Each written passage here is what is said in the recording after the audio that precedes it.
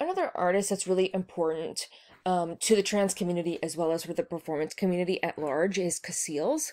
Um, they're part of the Toxic Titties group um, and did sort of revolutionary protests early on in their career, um, but is sort of the most famous of that group now um, and makes their own work sort of separately from that group. Um, very much uses a lot of performances require intense training regimens to transform the artist's form into that of a bodybuilder or mixed martial artist. Um, they've said, I see the body as a social sculpture. Uh, and so you'll see a lot of different plays with um, sort of gender, um, masculinity versus femininity, um, and sort of other. Oh, here's some information about that. Sort of the same, some quotes from um, Julia Steinmetz, who's part of the Toxic Titties as well.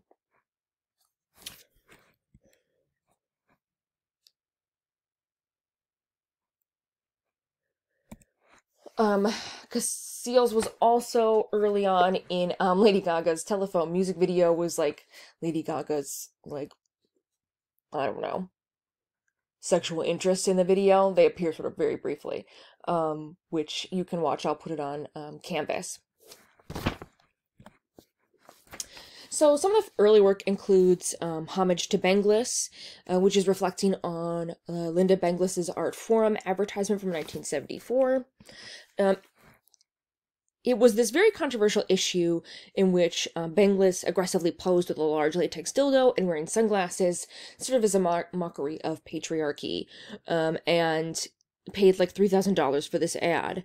Um, and so Cassils wanted to play with this idea um, and sort of substituted instead of having this sort of um, massive phallus imagery um, substituted the ripped masculine physique instead um, to kind of shift this cultural landscape and to talk about some of these issues as well. And it's called lady face man body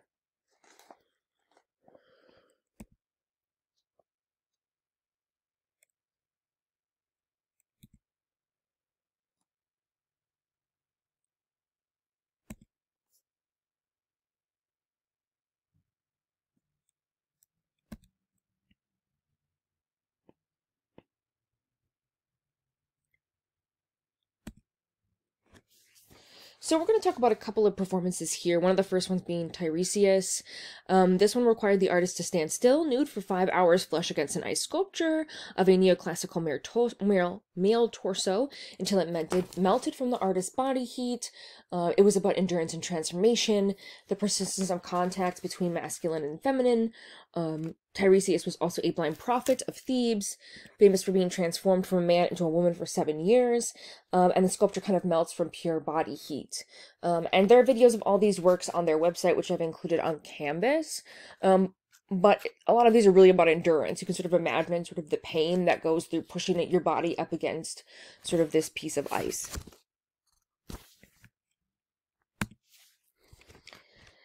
Another work is Becoming an Image. Um, this was a performance that was done in total darkness with zero visibility, uh, where Cassils unleashes an attack on a 2,000 pound clay block and delivers a series of kicks and blows in total darkness, only illuminated by flashes of the photographer. Um, very much about, again, um, a sort of endurance and uh, creating sort of sculptural work in this very sort of um, more violent way.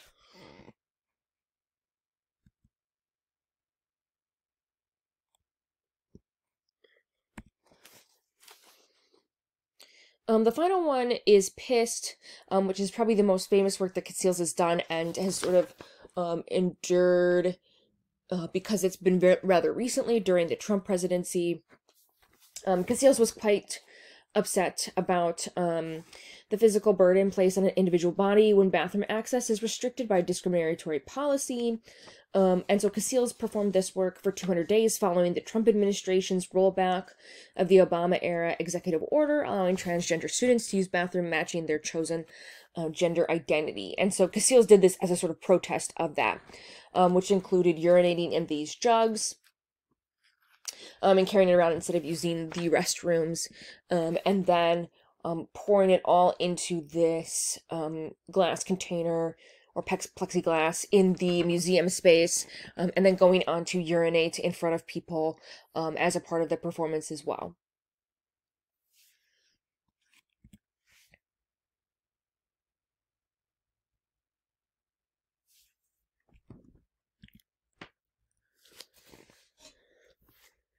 I'm going to play a clip um, from Cassils' website. Um, Cassils has probably my favorite um, website here. Give me one moment. Okay. I, I kind of love their website. They have all these sort of um, moving um, headers that make the pages really interesting. But here's a video um, by um, Cassils here that I'm going to play for you. Oops. Wait. I think I passed it. There it is. Okay. We're not going to listen to the whole thing, but here's a tidbit. I've been doing this particular piece since um, February 23rd of this year. So we're coming up close to a 200 day mark. And that date is significant because it is the date that uh, he who shall not be named rescinded uh, an Obama era order that allowed trans teenagers to piss in their bathroom of choice uh, versus uh, the gender that was assigned to them at birth. I have been filling about four liters a day, so close to a gallon. So today is the last day of the collection, which is a real relief because it sucks to piss in a bucket nonstop 24 hours a day, seven days a week. And to carry your urine around on your back and like on ice is a bit socially awkward at times. Um, so I'll be glad to have, um, you know, topped off this uh, durational performance. Yeah. As a trans person, but doesn't necessarily have all the signifiers to pass as, as male because I choose not to take hormones or have a double mastectomy. I present as a kind of um, confusion sometimes in the bathroom Sometimes I'll use the men's room, sometimes I'll use the women's room, honestly, wherever the shortest line is. But um, there's definitely certainly moments where you feel uncomfortable or super self conscious.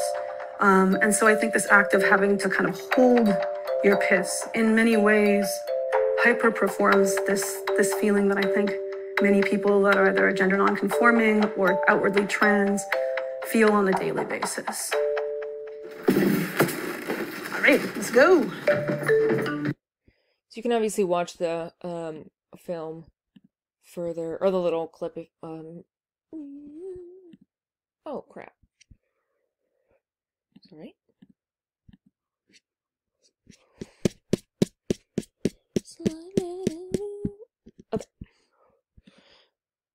Uh, but I think this work is very powerful and um, clearly has some power um, for people who deal with this sort of um, this um, issue having to do with bathrooms, which is quite silly, um, in that there's been this sort of outrage um, about um, people using bathrooms that are not assigned to their quote unquote biological sex. Um, states, It seems insane that I have to make a cube of piss for people to get this idea. I shouldn't have to make this. I shouldn't have to hold my own urine. It's crazy that we have to go to these extremes, but this is the culture that we're living in.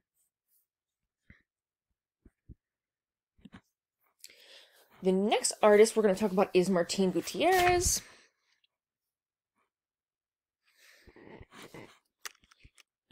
Martine is very interesting. Um, she is an artist, writer, performer, and musician, um, and a lot of her works kind of um, subvert pop cultural tropes in the exploration of identity, both personal and collective. Um, also addressing sort of race, gender, class, um, ingenuity, culture. Um, and so has kind of played with a lot of different um, pop icons and images, which I really like. Um, she makes billboards, films, magazines that sell identities that she disassembles. So as a um, male to female trans woman, um, she's kind of dealt with these sort of interesting conversations surrounding that um, in some of her sort of early work, and we'll talk about it here. Uh, I'm going to show you just some of the spreads and images that she's taken that are really sort of interesting.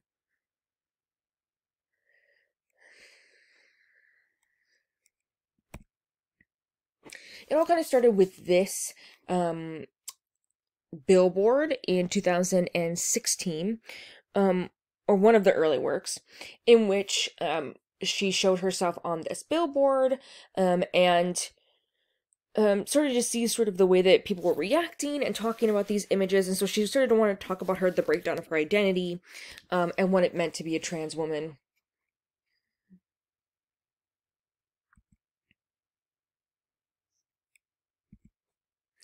And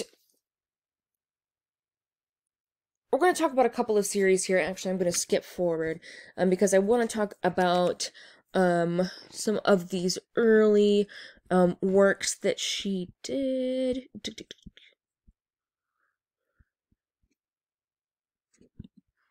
So she focused on these two sets of series called Girlfriends and Line Up, um, which were about gender and intimacy and fantasy, um, very much using mannequins and other figures to shift reality. Um, and so both of them from 2014, um, where she kind of like utilized these very luxurious scenes with mannequins as archetypes of beauty, um, and to kind of make them look very similar to um, the way that Martine looks, as well as sort of this very particular hyper feminine group that she sort of decided each would look like. Um, and the illusions are seamless. It's easy to mistake what is real and what is artifice. Um, and so this one in particular is supposed to just sort of kind of a relationship between two females. Um, it's supposed to give you the sense that um, Martine and um, the other, the mannequin figure, are kind of in this relationship. So it's this breakdown of these ideas. However, the other one,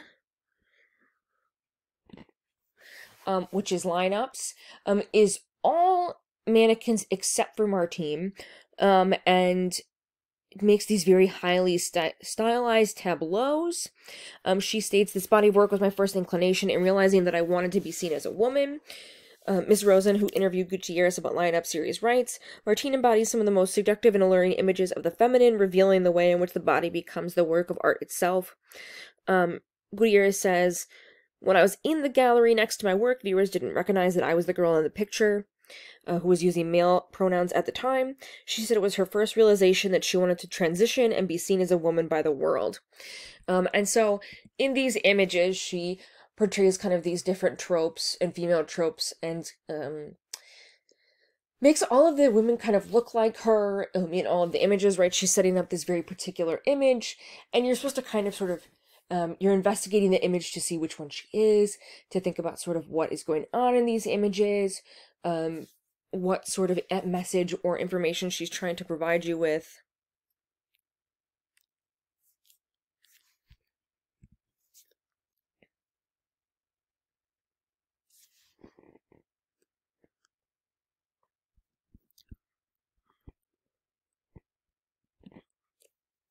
Going back to that previous series um, that I popped um, moved our conversation from. Um, one of her big works is The Indigenous Woman, um, in which she made a sort of magazine in 2018, in which it featured sort of these high fashion glamour images um, that were supposed to uh, show her life and um, her individuality as um, a trans woman, but also a um, indigenous woman. And so she um, is enacting not simply the artist as muse, but rather the artist as media mogul, staging guerrilla style seizure and colonization of space in an image based world in which she had previously been denied access. Um, very much trying to celebrate Mayan Indian heritage and navigating contemporary um, visions of indigenous people, this ever evolving self image, um, and so she made this entire magazine stating that sort of if she didn't create it, um, that no one would have sort of put her in these spaces um, because it just wasn't something that was being done. Um, and she wanted to portray herself in a particular way. And so created this um, series of um, sort of magazine edits and images, which are just stunning.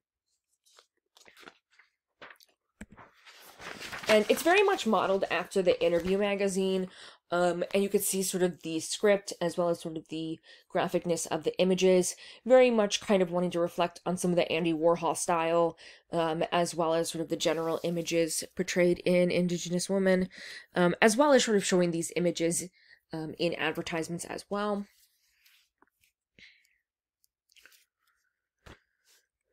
She also wanted to draw on um, and to subvert um, white Western standards of beauty. What better way to do this um, than through their own sort of medium? Um, she also asks sort of serious questions like, what makes a native born woman? How is this subverted or otherwise? Um, stating, I'm asking what signifies a real, authentic native born woman. It is a critique and simultaneous investigation of what claim over these labels, stereotypes, and iconographies I have. Through the style and construct of the glossy magazine, Gutierrez subverts conventional ideas of beauty to reveal how deeply sexism, racism, transphobia, and other biases are embedded in our culture, um, and has sort of done this successfully through um, this series. And they're, I mean, they're insanely gorgeous images. Um, very much playful, surrealist, um, very much kind of breaking down all of these interesting boundaries and creating this sort of graphically, shockingly gorgeous um, imagery.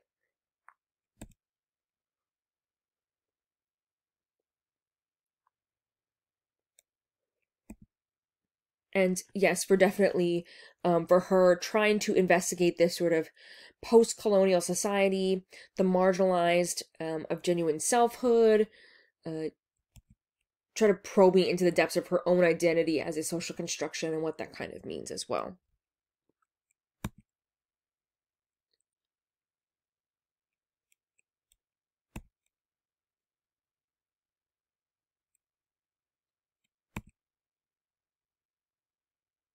And again, she's also done sort of general spreads um, that are um, in actual magazines, quote unquote. Um, and so that is a part of it as well.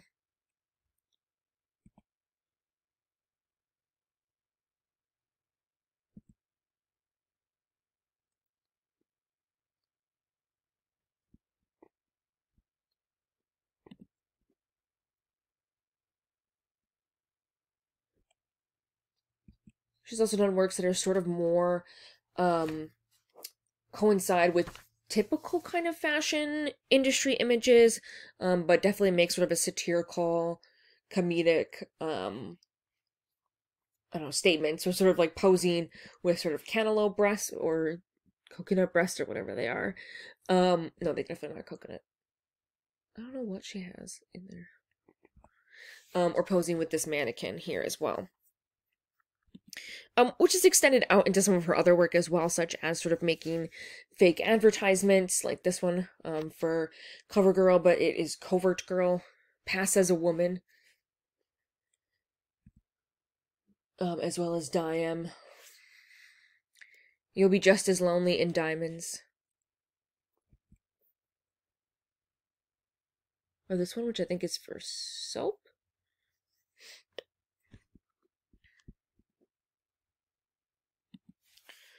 She's also played with this construct in her anti icon series.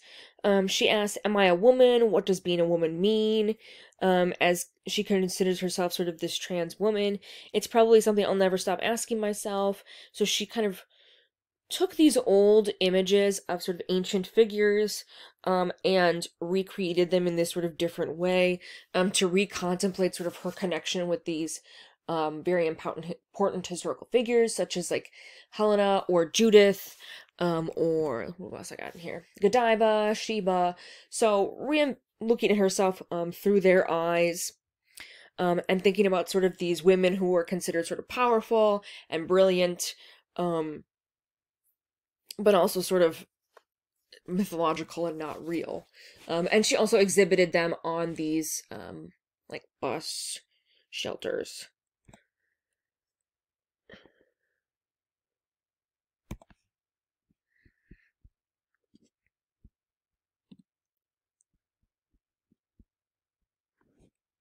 Now, obviously, she's made a name for herself. She has become sort of part, um, and um, has images in sort of traditional magazine spreads. Um, but it still kind of stands that she's still contemplating these ideas, um, creating films that kind of contemplate them as well.